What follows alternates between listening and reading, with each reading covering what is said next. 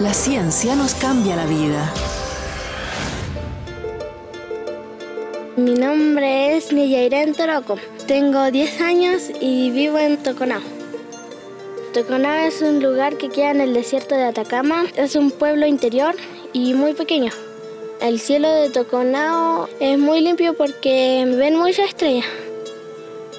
Cerca de Toconao se está construyendo un proyecto que se llama ALMA. ALMA fabrica las antenas y ahí sacan información sobre las estrellas. Si algún día los astrónomos encontraran vida fuera de este planeta, creo que cambiaría la humanidad.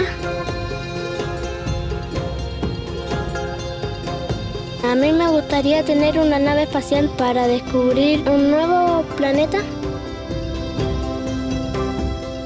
Me gustaría ser la primera niña en llegar a la Luna y poner la bandera de Chile.